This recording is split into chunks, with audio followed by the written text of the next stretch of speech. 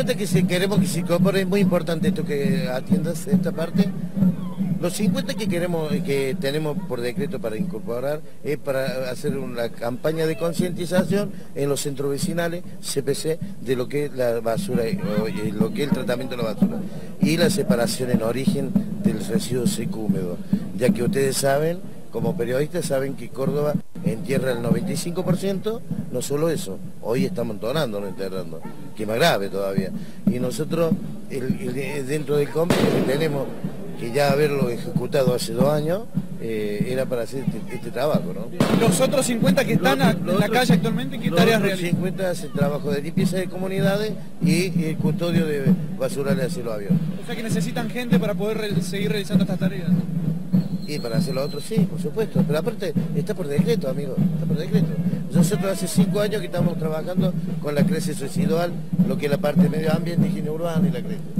Pero este otro compañero que creo que son absorbidos por desarrollo social en cooperativa de desarrollo, pero no se concreta queremos concretarlo. González, a esta hora también estaba establecida una reunión aquí por parte de la Fundación Sin Estribos para seguir reclamando para que no hayan animales en las calles eh, y, bueno, lo llamado tracción a sangre, eh, utilizándolo como método de circulación. ¿Ustedes vinieron por esa cuestión también hoy? No, no, no. Nosotros con la gente de Cinestribo no, nada.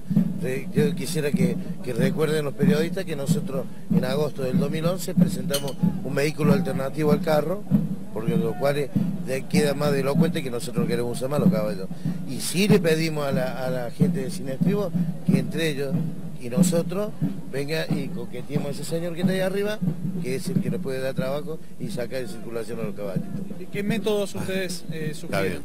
escúchame, te vuelvo a repetir, Córdoba tiene 90.000 metros cuadrados de espacio verde que podríamos trabajar. En tierra el 95% de la basura.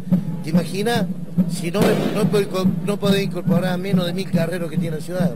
¿Pero qué métodos de circulación ustedes sugieren? Nosotros haríamos una, la campaña, una fuerte campaña de concientización de lo que es la separación en origen de la basura, del residuo seco húmedo, pero hacerlo a través de las organizaciones sociales, no de los publicitarios que millonarios eso. Hacerlo a través de las organizaciones sociales y a su mismo tiempo poner puntos de referencia, puntos de transferencia donde nosotros le hagamos el tratamiento y que no vaya todo al enterramiento. Es espantoso lo que está pasando hoy. Por último, insisto, ¿qué, qué método de circulación ustedes sugieren alternativo a los caballos? Mira, honestamente, no me gustaría eso. Además, te digo, ni el vehículo que nosotros presentamos como alternativo porque sabiendo lo que hay, como hay, medios que hay del 95% y dentro de los 90.000 metros cuadrados de espacio verde de la ciudad, yo creo que con eso no llegamos, no superamos más de mil carreros. Eh.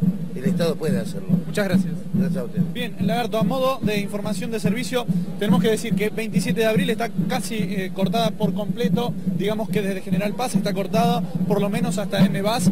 También eh, los automovilistas no pueden circular por eh, Cañada, no pueden tomar la zona aledaña a la municipalidad, bueno, para evitar cualquier tipo de situación que pueda detenerlos y no les permita seguir circulando por esta zona. Siguen ustedes en el piso. Bueno, perfecto, muchas gracias. Bueno, ahí está el motivo del corte que había en San Juan y, la, y, la, Cañada. Sí.